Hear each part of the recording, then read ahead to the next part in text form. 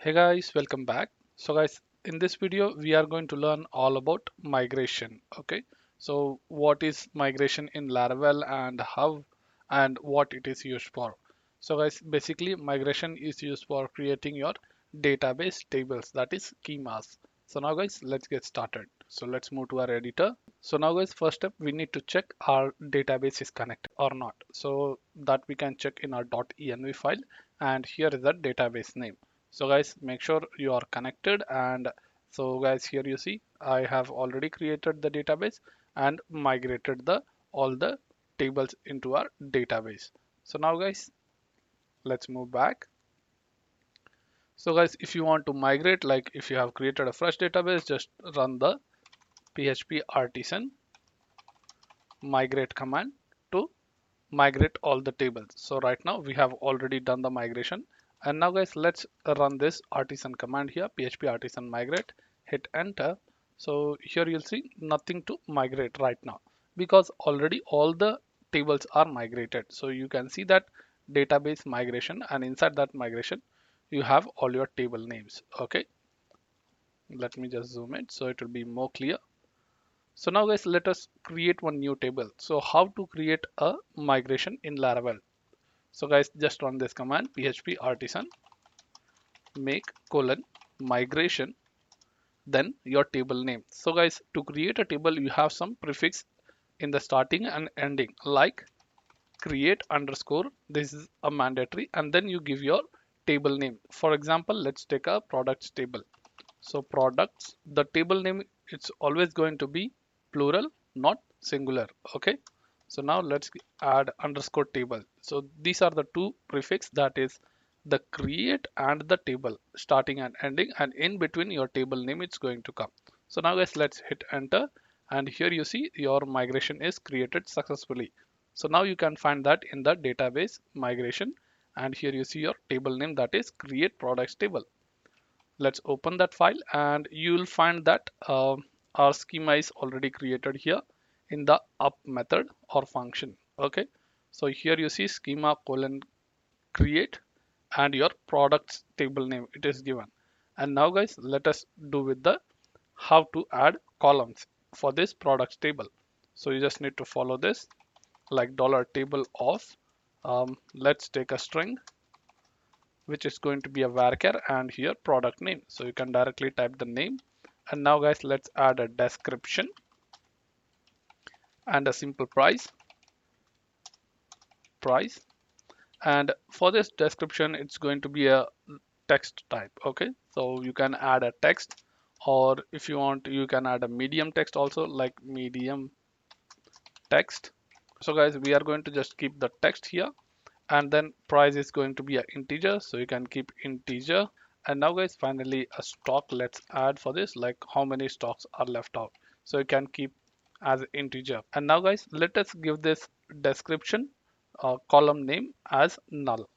So here you can just add nullable function to make that column as null. Like when you insert any record so it's it is not going to be mandatory part. So for that you can just add null here.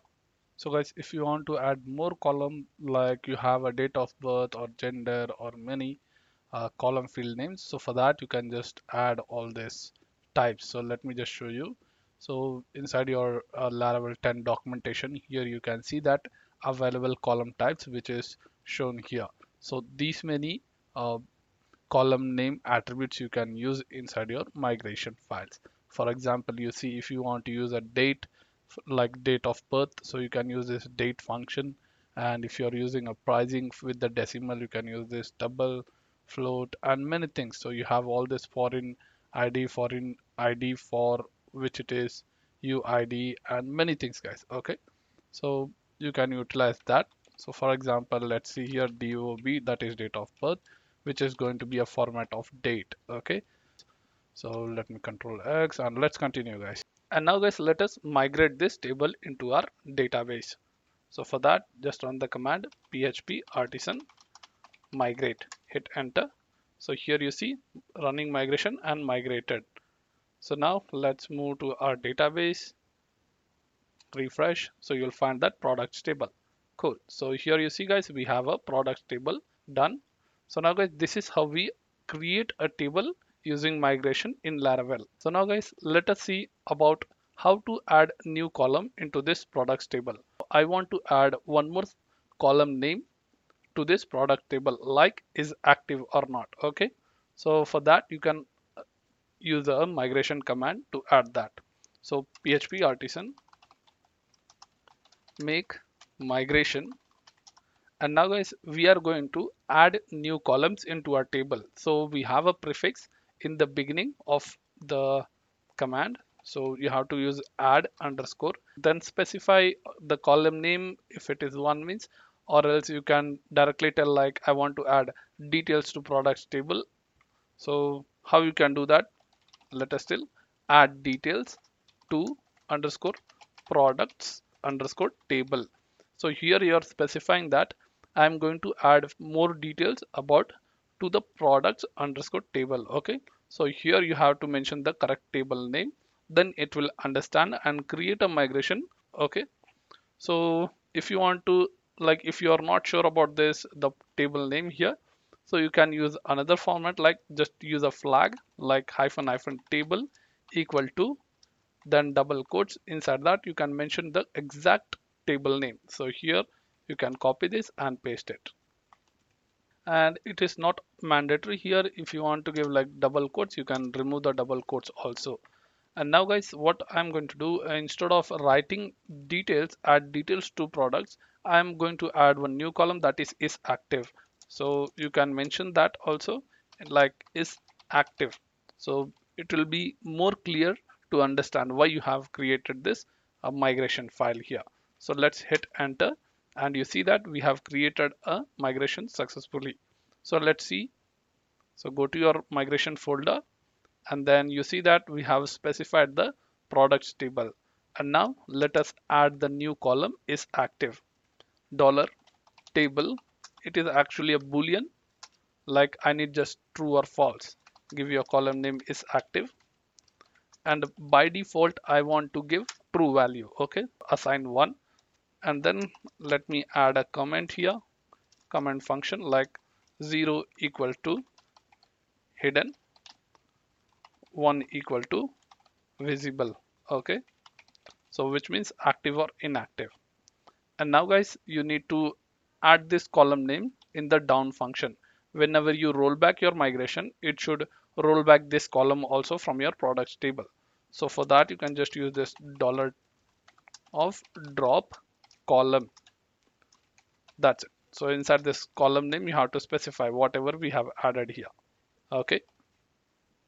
So now guys let's save and let's migrate this file. So php artisan migrate hit enter. So here you see uh, it's telling that we have migration is done. So let's get back. And if you refresh here you see that uh, we have the is active column name with the comment. Whatever we have added and default also will be shown. So let me just go to the structure here. Is active is over here now okay? And default value is 1 so now guys one more thing i just wanted to teach you about how to um, add this is active column after the name description or after this stock so right now i have added directly. So it's appended in the last column okay? Last row of the table. So now guys let me show you with another example. Um, let's go to our products table here. So I just want to add a small description or original price about it so what we'll do let's like PHP artisan make colon migration. I want to add new two columns. So add underscore this is a prefix. Uh, I have to add two columns that is small description and original price of it. So you can tell like details. To mention your table name so that is products underscore table okay? So if you are giving a correct name products then you don't have to specify the flag of table hyphen hyphen table equal to the products name. Okay so just remove and now guys let's hit enter. And here you see you will see that uh, new file is generated migration and you can add the column field names. But I want to, to add those columns after the description okay? Not uh, add at the last as we have seen this is active is added at the last. So for that you can just uh, get back to your migration file add this add details to products so first step dollar table and use after function. And here you mention what column you have to add those remaining columns. So I will copy this description column name and get back and paste here. So after this description column let me add a function because I need to get that the table variable. So dollar table table open and close curly brace okay and you can use that dollar table here and add the column field names. Medium text function which is going to be a small description. And it is nullable also. Nullable function.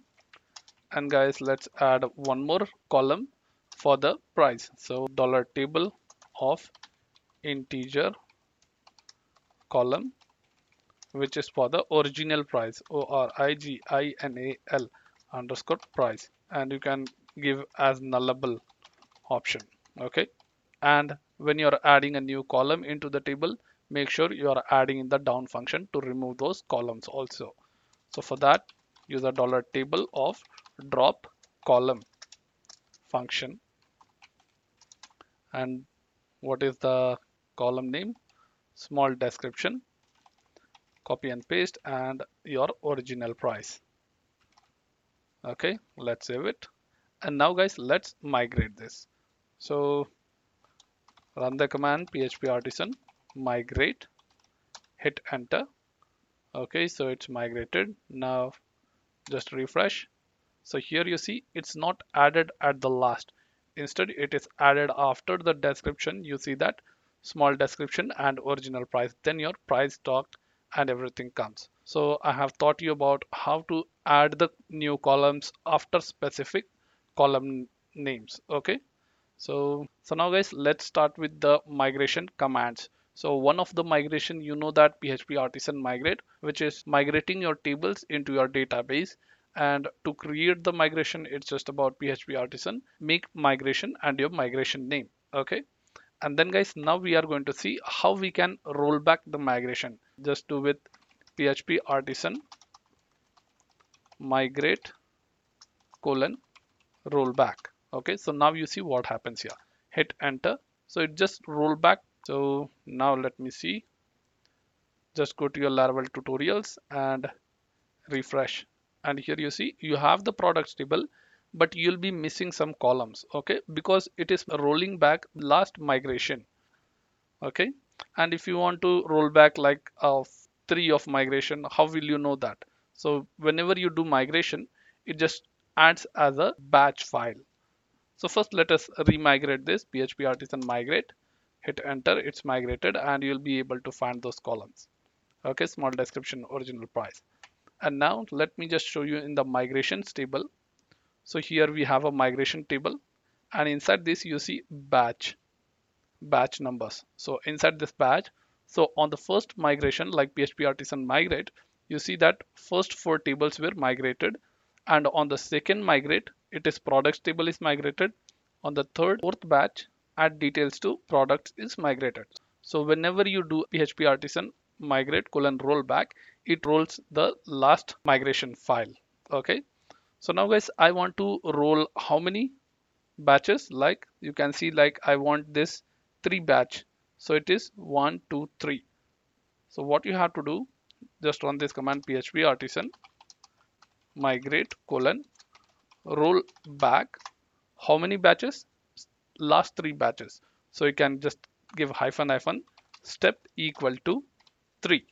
Now hit enter. So here you see three migration files from the last it is rolled back.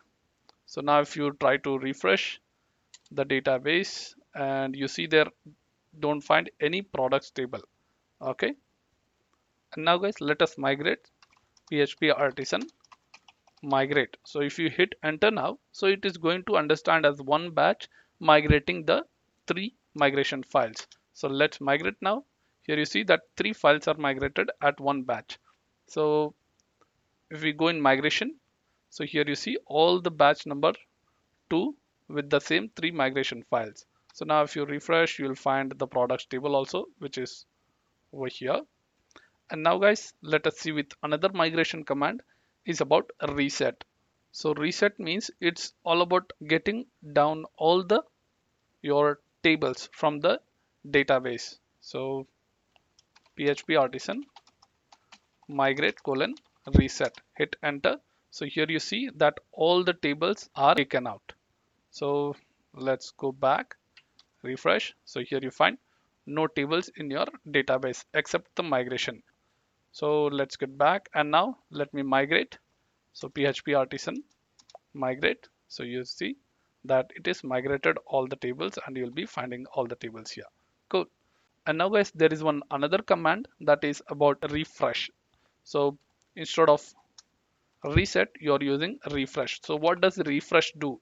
So it rolls back all the table and re-migrate all the tables okay? So it downs and push it also. So let me just show you. Let me so hit enter. So here you see rolling back and running migration. So it drops it and adds it okay. Okay. So guys this is all about the laravel migration. And if you want to go in depth like what column should be created and i can just show you here uh, in this name i want to give a 500 so it makes the length of that varchar to 500 so if you want to go in depth of the migration, please go through the Laravel documentation. So guys, in this video, that's it. And if you want to read about seeders or foreign key relationships in this Laravel migration, please follow my blog post, which I have written. Link is given in the description. Okay. So guys, in this video, that's it. Thank you for watching this video. Please subscribe, like and share.